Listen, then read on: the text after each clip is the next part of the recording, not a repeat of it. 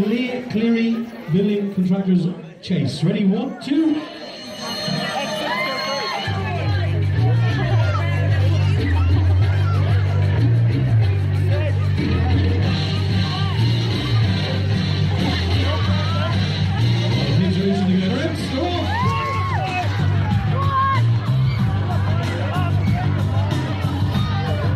Final race for 2017 of the